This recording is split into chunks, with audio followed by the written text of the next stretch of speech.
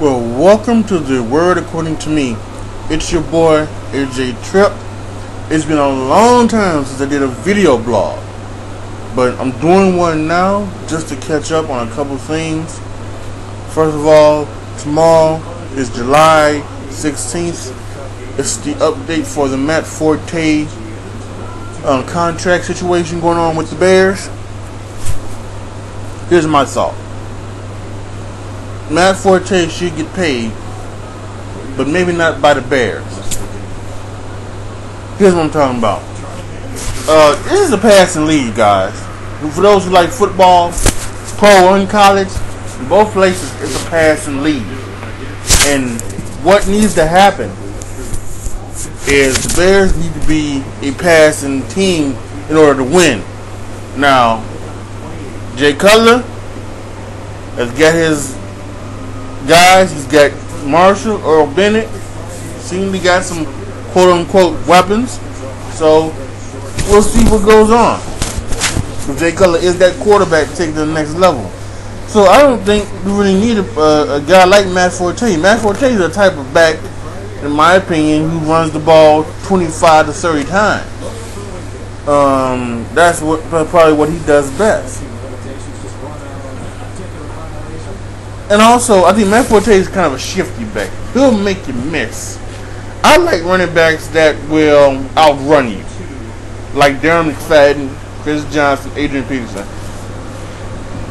I don't think Matt Forte is going to outrun you, but I think he'll make you miss on his way to the end zone. As you see in that, always you see in that clip in that from Tampa Bay over in New England from last year.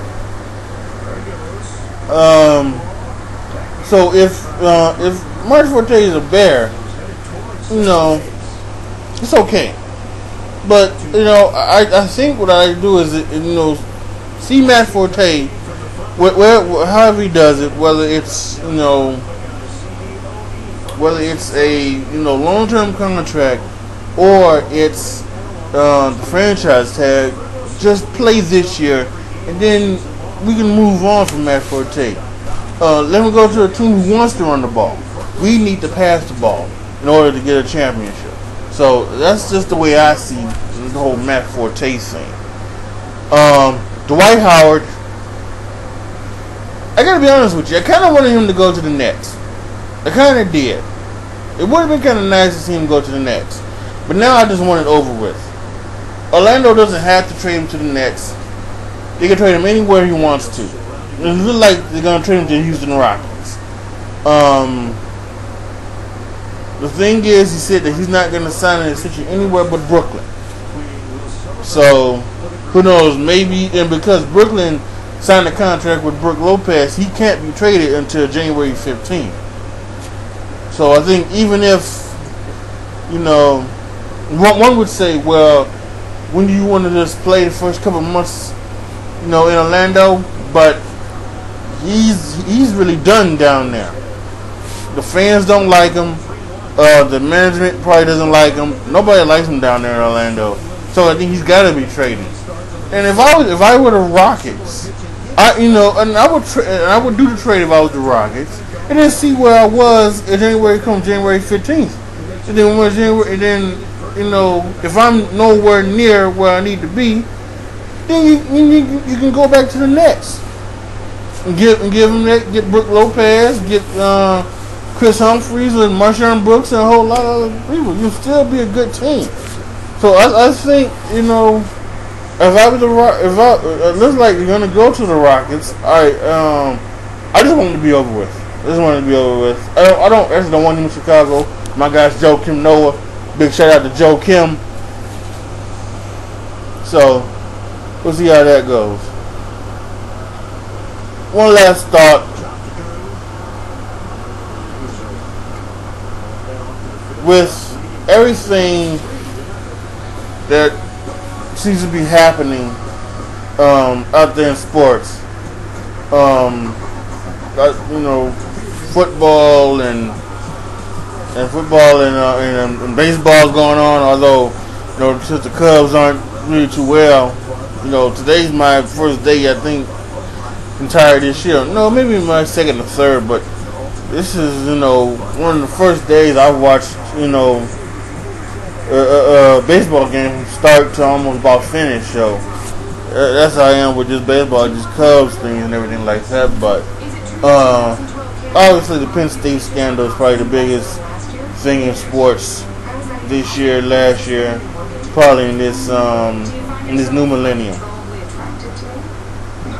Listen, I'm I'm I'm I'm, not gonna say a lot because you know I think people are passionate on both sides.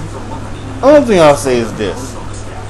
Uh, I disagree with people who think that Joe Paterno was a bad person because he seemingly allowed what went on went on. That doesn't make him a bad person.